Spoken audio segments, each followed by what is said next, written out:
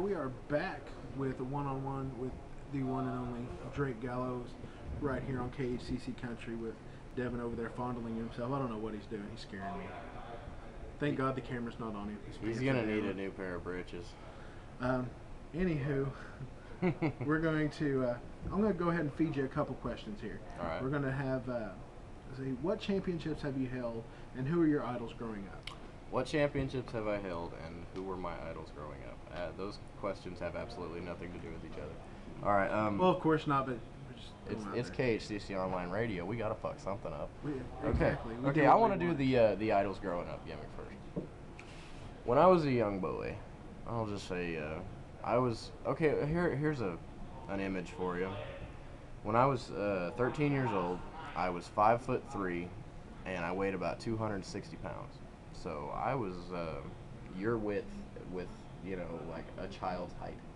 my width with uh, with Rook's height. with Rook's height. I was very fucking wide, and I had long, scraggly hair. I looked, it, looked, it was like a mullet almost. You know, like '80s uh, John Laurinaitis hair. Nice. Yeah, nice. yeah. It, but I didn't even have the spike. You know, I didn't look like fucking. It looked great. It looked awesome, you know. Um, I hate to name drop. I mean, I won't ever do that again, other than the growing up part.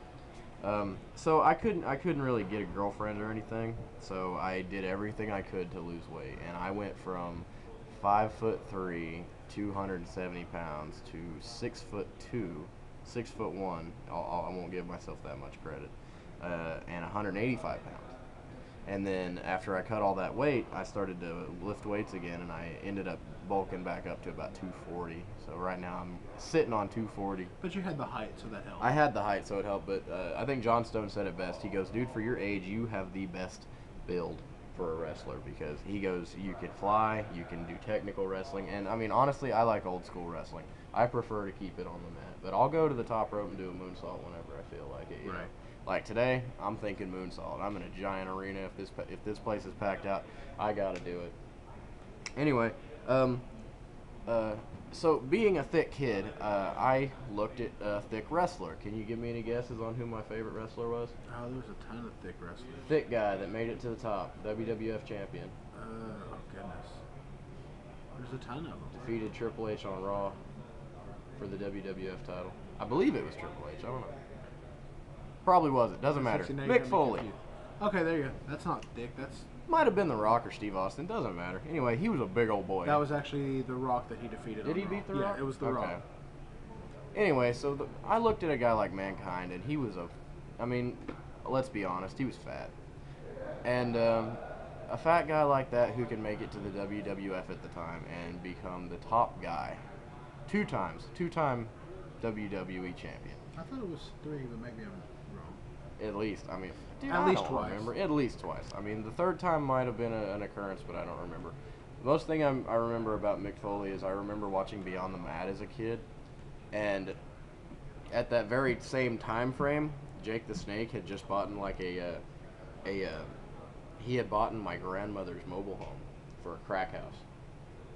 I didn't realize what he was buying the house for, and I mean this is a this is a pretty well kept story. I've never really told anybody this, but Jake the Snake in um, Austin, Texas, uh, bought a house. He bought it almost um, 50 or 60 miles away from his actual home, so he could get away for the weekend, and he would go smoke crack and do whatever.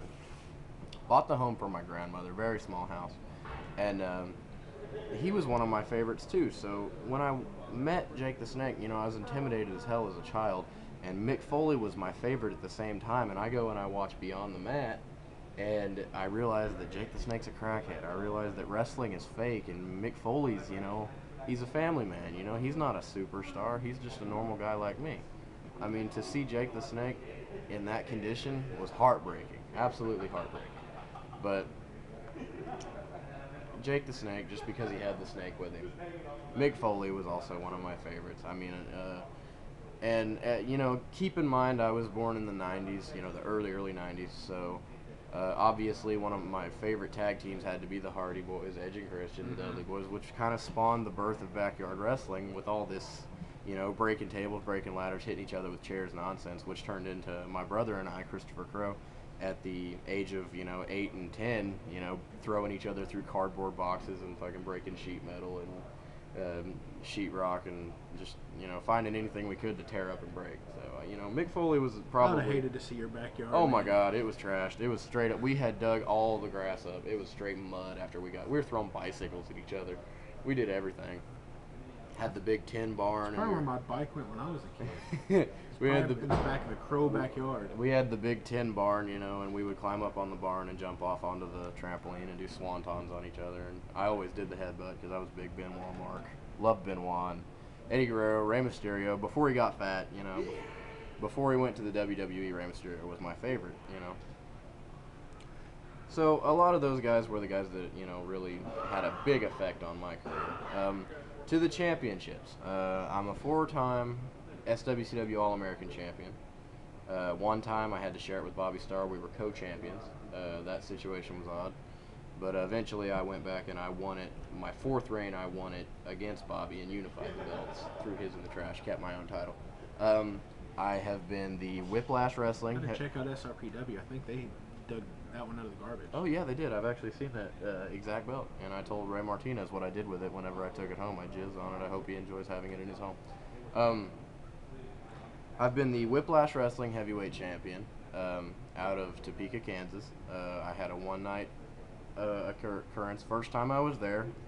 Opening contest was a battle royal. I was the, in the final two against a guy named Kabuki, not the original. Um, uh, he dumped me over the top rope. I noticed that the referee wasn't looking, so I slid right back in. Ref turned his head. He saw me in the ring. He saw Kabuki on the floor, so fair and square in my opinion. Which was one of my favorite title wins in history because my grandmother Peggy and uh, my father and a couple other relatives from the Kansas were able to see that, you know, and that was one of the first times they'd ever watched me wrestle, so that was a big moment. Um, I've been a former BYEW heavyweight champion. That was the first title I ever held. I defeated Chris Chaos for that in a no holds barred match, uh, where I gave him my uh, finisher, the bid farewell, off of a ladder, and pinned him from there. And uh, uh, I have been a two time entertainment champion. Both times I won that title, I defeated Bobby Starr. Uh, once in a unification dog collar match, once in a ladder match where I gave him a side effect off of the top of a ladder through a table, and I pulled the belt down. So, um, as far as I know, I, I think that's about it. You know, I have a title match coming up against Canadian Red Devil for the caution title at the BYW, so I plan on winning that, so we can add that to the list. Um, and uh, as soon as I can, uh, I'm gonna try to work my way up. I'm gonna try to res- uh, get a chance at the uh, SWCW Hardcore Championship as soon as I can. That'll be a, that'll be an interesting match with you and Kareem Sadat. It is a Kareem Sadat right now that has the title. As far as I know. Well, you know the way the Hardcore Championship goes, you'll never know who the champ is at the time. But you know, no matter who it is, I'm looking forward to a good transition from being a traditional wrestler at the time. I think 2012 is the year that I uh, enjoy some hardcore wrestling. All So- right. We'll take another break and we'll be back with one more segment with Drake Gallows right here on KHCC Country.